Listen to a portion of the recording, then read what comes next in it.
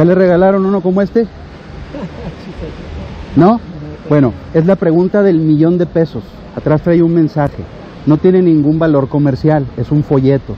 El mensaje que trae o la pregunta del millón, que es todavía más importante que la de los 64 mil, este es del millón. La pregunta es, si usted muriera hoy, ¿dónde cree que va a despertar? Nada más hay dos caminos, según la Biblia. ¿Va uno con Dios o va uno a estar separados de Dios? Si hoy, Dios no lo quiera, pero si hoy fuera su último día, ¿dónde cree usted que va a despertar? don? Sí, buena pregunta, no le he analizado eso.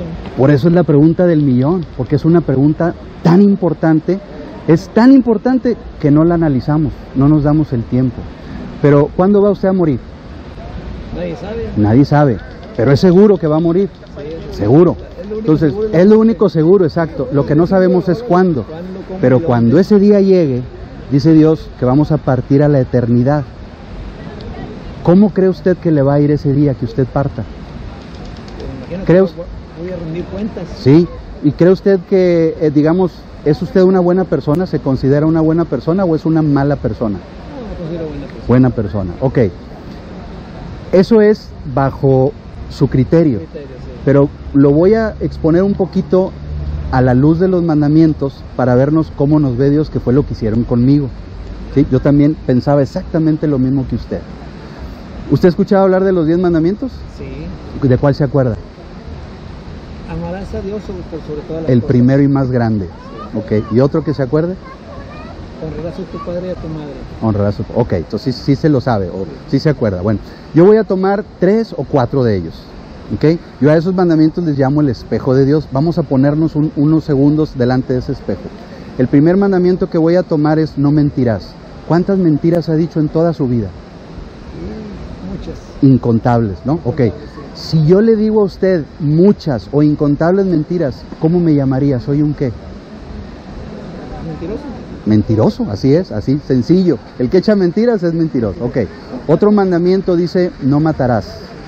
Pero Jesús dijo que cualquiera que odiare a su hermano ya lo mató en su corazón. Usted en algún momento de su vida, no importa qué edad ni a quién fue, si ha sentido odio por alguien en algún momento de su vida. Sí. ¿Eh? Ok, para Dios es como si usted ya lo hubiera matado. Esos son los estándares de Dios, son muy altos, ¿ok? Otro mandamiento dice, no usarás el nombre de Dios en vano. ¿Alguna vez usted, para cuando le, le ocurre algo o siente algún, algún coraje, ha usado el nombre de Dios para expresarlo? Decir, ay Dios de mí. La verdad sí. La cuando- verdad, sí. Cuando, uno no encuentra una respuesta a Exacto. un problema. Y decimos, usamos su nombre, Sí, ¿verdad? Inconscientemente. Y él, pues lo hacemos inconscientemente, pero ¿por qué no decimos, ay Teresita, o ay Juanito? No, ¿por qué decimos Dios? Bueno, para Dios eso es muy grave, se llama blasfemia, usar su nombre en vano. Él nos dio la vida, todo lo que nosotros tenemos, nuestros ojos, nuestra boca, nuestros oídos, nuestras piernas, todo lo que tenemos alrededor, nuestra vida misma nos la dio Él. Y tomamos su nombre para mostrar a veces disgusto. Bueno, eso dice Dios, no tomará a Dios por inocente al que usa su nombre en vano. Es muy grave ese, ese pecado. Y por último hay otro, otro mandamiento que dice, no fornicarás o no cometerás adulterio. Fornicar es cuando tenemos relaciones sin casarnos. Y adulterio es cuando estamos casados y nos unimos a otra persona. Mas Jesús dijo que cualquiera que mire a una mujer para codiciarla, ya adulteró con ella en su corazón. ¿Alguna vez usted ha mirado a alguna mujer con codicia? Créame que yo estoy igual que usted. Yo también he mentido, he robado. Exactamente, no soy mejor que usted. Y no lo estoy juzgando, simplemente le estoy haciendo las mismas preguntas que a mí me hicieron. Ahora, a la luz de los mandamientos, usted ha admitido que es mentiroso, ladrón, blasfemo y adúltero de corazón. Si hoy muere y Dios hace justicia en usted por sus mandamientos, ¿dónde cree que va a despertar? ¿En el cielo o en el infierno? Pues yo pienso que aquí está el infierno en la tierra, porque aquí es donde pagamos todos los, eh, los, los pecados que, cometemos, ¿verdad? O sea, bueno, para mí sí, sí, creo que hay, un, hay otra Vida. vida, Ok. Entonces, bueno, usted me dice, yo creo que esto, yo creo que esto otro, yo creo, pero la Biblia, la palabra de Dios, la, la palabra del Creador, dice que todos somos pecadores y todos necesitamos arrepentirnos y nacer de nuevo. Dios dice, Don, que todos necesitamos nacer de nuevo. La palabra de Dios, y esa no miente. Dice, dice, dice la palabra, de hecho, sea Dios veraz y todo hombre mentiroso. Si hay alguien que tiene la verdad, es Cristo, es Dios. Y Él dice que todos hemos pecado, que no hay justo ni a uno. Adelante. Mire, le voy a poner un ejemplo. Usted ahorita ya me dijo que, que a la luz de los diez mandamientos somos culpables. Imagínese que yo soy un juez y usted ha cometido cuatro crímenes graves.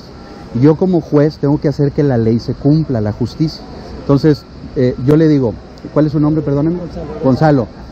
Usted ha cometido cuatro graves delitos y yo tengo que hacer que la ley se cumpla enviándolo a prisión por 80 años. O le voy a dar la opción de pagar una fianza. Esa fianza es por 100 millones de pesos. ¿La puede pagar? Es muy alta. Entonces, donde lo están enviando a prisión, alguien que usted no conoce entra y le dice, señor juez, deténgase. Aquí está el cheque por 100 millones de pesos para que deje en libertad a Gonzalo. Entonces el juez dice, a ver Gonzalo, ven, tú eres culpable por tus crímenes, pero este hombre está decidido a dar el pago que la fianza pide para dejarte en libertad.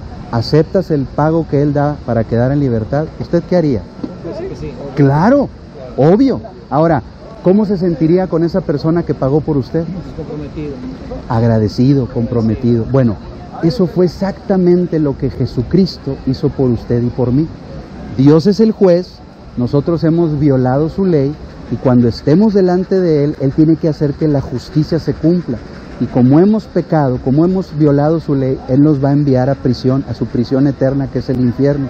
Pero Jesús vino y pagó lo que Dios, ese juez justo, demandaba por sus pecados y los míos. Entonces lo que Dios hoy le dice es, tú eres culpable y te voy a enviar a prisión, pero tienes la opción de aceptar el pago que mi hijo hizo por ti.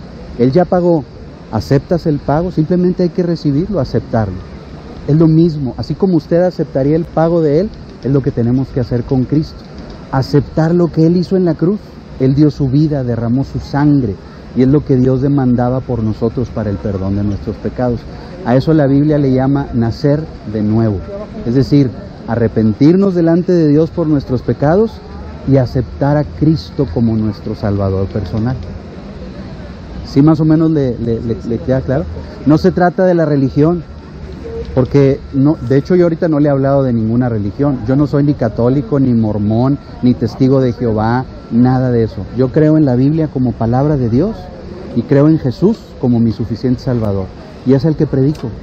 Desde hace 16 años yo tenía mi religión, pero con todo y religión iba derecho al infierno. ¿Por qué? Porque no había recibido a Cristo como mi Salvador. Y eso es lo que lo invito a, a usted, señor Gonzalo, a que reciba a Cristo como su Salvador, a que no confíe en lo que usted hace bueno y malo, sino que confíe en Jesús, como cuando uno se pone un paracaídas en un avión. ¿Usted confía en que si mueve los brazos se va a salvar? No, se pone el paracaídas y confía totalmente en él que la ley de la gravedad que lo jala hacia abajo, usted al jalar el paracaídas, ese paracaídas lo va a salvar. Bueno, es lo mismo, imagínese que ese es Cristo, el que lo va a salvar del infierno. Simplemente es recibirlo a Él y depender de lo que Él hizo. ¿Ok? Déjeme, le, le- le dejo este folleto.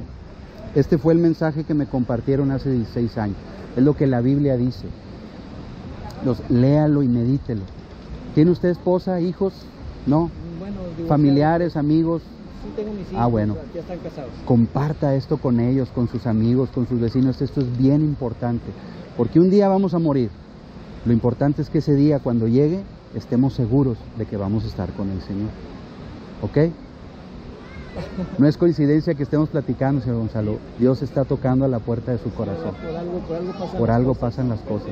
Y esto, y esto es algo que hicieron conmigo hace 16 años. Y esto es ahora lo que hago. Dios me dijo, ve y predica el Evangelio. Y esto es, es el Evangelio, las buenas nuevas, lo que Cristo hizo por nosotros. ¿Ok?